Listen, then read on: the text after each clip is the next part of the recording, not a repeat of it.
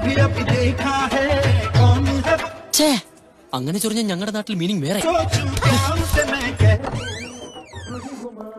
ചരു please ഇത് വളരെ ചീപ്പായി പോയി അബി ഓക്കെ ഓക്കെ അറിയാതെ ഞാൻ ഇപ്പൊ ഫ്രീഡം എടുത്ത് പോയി ലീവ് ഇറ്റ് നോ ഒരുമാതിരി ടീനേജ് കോളേജ് പിള്ളേരെ പോലെ അപ്പൊ ഞാൻ വിചാരിച്ചതിലും ചീപ്പാണ് നീ ആദ്യമായിട്ട് ഒറ്റയ്ക്ക് ഒരു ഫിലിമിന് വരാന്ന് അവള് സമ്മതിച്ചത് അല്ലെങ്കിൽ നിങ്ങളൊക്കെ ഉണ്ടാവില്ലോ എപ്പോഴും അപ്പൊ അങ്ങനത്തെ ഒരു മൂഡില് ഞാൻ അല്പം ചീപ്പായി പോയി അതേ ചാരുവേ നമുക്കത് അങ്ങോട്ട് മറക്കാം അവനൊരു അബദ്ധം പറ്റിയതല്ലയോ വേണ്ട അവനുമായിട്ടുള്ള റൊമാൻസ് ശരിയാവൂല. ഏ അല്ല ചാരു അവനൊന്നും പറഞ്ഞില്ല.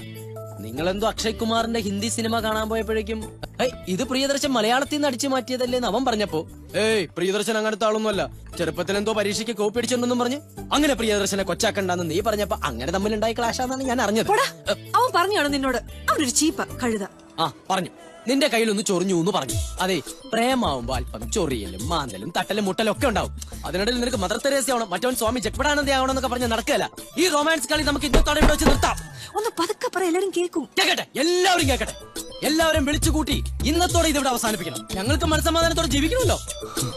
അവൻ വന്നതിനോട് സോറി പറയട്ടെ. അവൻ എന്റെ കയ്യിൽ ഒരു സോറി തന്നു വിട്ടിട്ടുണ്ടായിരുന്നു. അല്ല അത് വേണ്ട. അവൻ തന്നെ നേരിട്ട് ഒന്ന് പറയും. അപ്പോ ഓക്കെ സോറി പറടാ. ഇപ്പൊ പറയും. നീ എണ്ണീറ്റ് പോ. ഇത് ഞങ്ങൾ തമ്മിൽ ആയിക്കോളാം. ഓഹോ ഞാനപ്പോ ജെ സി ബി കയറി ഇറങ്ങിയ മൂന്നാറ് പോലെ അല്ലേ